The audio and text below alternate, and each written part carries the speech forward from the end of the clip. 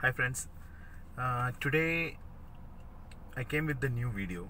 Okay, uh, since we get a lot of inquiry and the complaint from uh, the buildings and from the contractors saying that uh, the wet area, the bathrooms, are the more most crucial place where we need to do a proper waterproofing.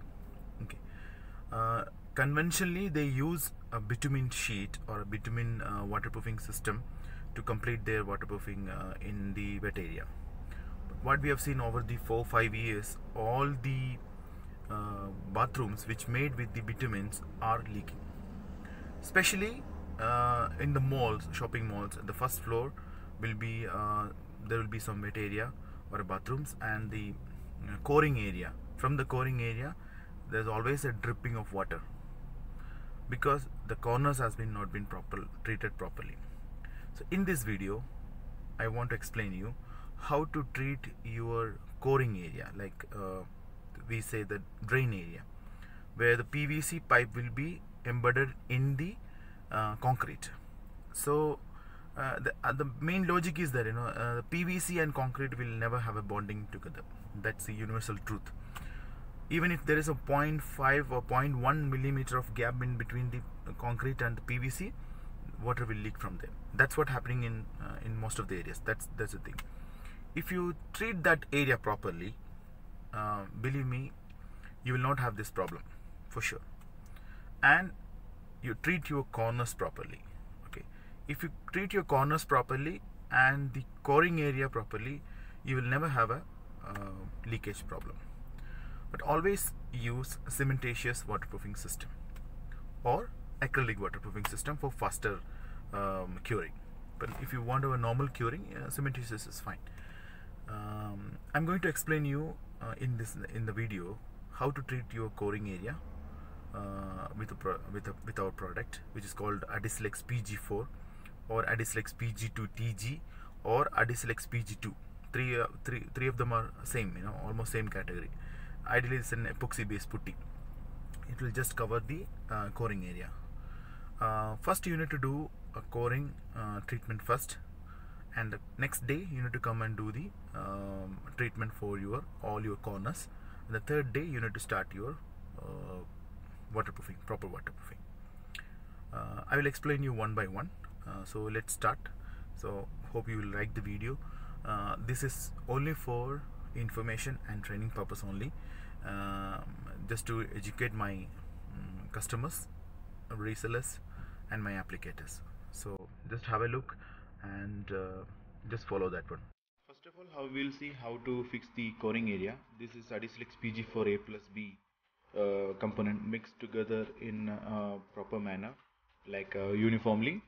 And uh, we need to apply uh, on around the corning, coring areas of the pipes uh, because as I, as I told you before that is the more crucial one. This is the coring area. You need to apply like this on and around uh, to the pipe. Uh, this will enable uh, that area to be 100% waterproof from the concrete to the PVC so in this manner we are going to seal entire area.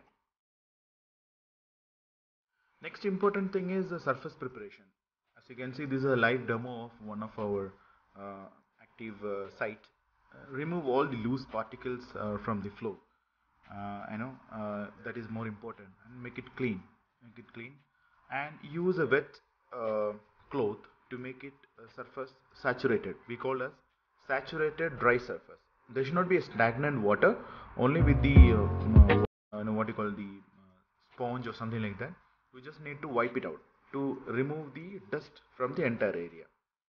So this is very important. And uh, you can see this is after the SDS uh, uh, saturated dye surface this has been completed. Your coring is, uh, area has been uh, treated properly. Uh, now uh, this is the surface where we need to do a waterproofing. As we mentioned before yeah. you can see the substrate is almost saturated. And as you can see uh, this surface is uh, so dust free and this area I think yesterday we have done it and now it's very hard now it's very tangent and you know you can the corners, you know, all the pipes area has been treated well and the corners there is no dust at all so now we will start making a pipe penetration treatment how to do uh, how to do a pipe penetration treatment I will let you know by using Mapetex Sel anti-alkaline mesh. The cement is always an alkali, and when in touch with any kind of fiber or any other it will degenerate after two or three months. But this is an 100% anti-alkaline mesh, which is a product of Mepec. It is called Mepec Texel. So you have to use this texel for the corners and the coring area. How to do this one? We'll be explaining. This is how we are showing uh, how to treat the uh, main coring area. Uh, take texel in a square manner and uh, fold it into a triangle shape. Okay. and then cut the ends. And uh, make some cuts horizontally as well just to get into the pipe area.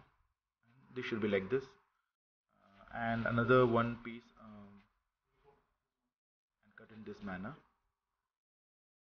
to just to surround the pipe. That's the whole idea. Okay now uh, the first one you need to make it very tight uh, to the main uh, coring area. Okay. Uh, this is part of preparation. You need to prepare this uh, texel well in advance before you do any waterproofing uh, just to make sure that you know you've done the cutting is perfect and make a necessary changes whatever you wanted. The idea is uh, not to have a water penetration, from this area. So this how we need to cover the entire pipe area. This is a mandatory. Now let's start the Mapelastic Smart application. As you can see uh, the B component has to be poured first. Not full amount. Uh, you need to uh, maybe 100 grams you to left over mix it properly and after that the rest 100 grams together. So make it a uniform material and now you need to apply uh, on the coring area first. Uh, just apply with a brush like this. And uh, place uh, the texel on top of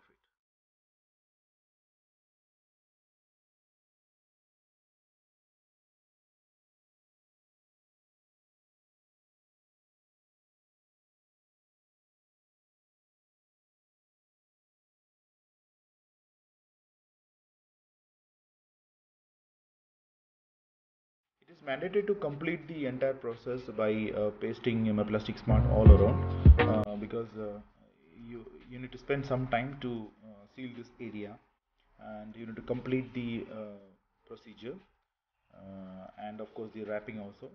And just imagine that you know all the textile need to be embedded in the with this Mapelastic Smart. It has to be. Now it's a corners now you can see how the corners should be treated uh, with the Mapetex Sel. First you need to um, compact it properly to uh, embed uh, this Mapetex Sel into the Mapelastic Smart. It is mandatory and use a scraper or something like that to just press in into the wall properly. These uh, areas are really crucial. You know, we we think that this is a normal area, but uh, these are the area we get a cracks uh, in the concrete after some time. So by doing this uh, it gives a um, confidence that you know even if it is cracked there will not be a leakage from this area. And after that all the corners has to be uh, horizontally have to complete it. Uh, this is the completed one. This is the first step you need to complete all the uh, areas first. Then do the first coat of Mapelastic Smart full area. Uh, that, sh that should be the way to complete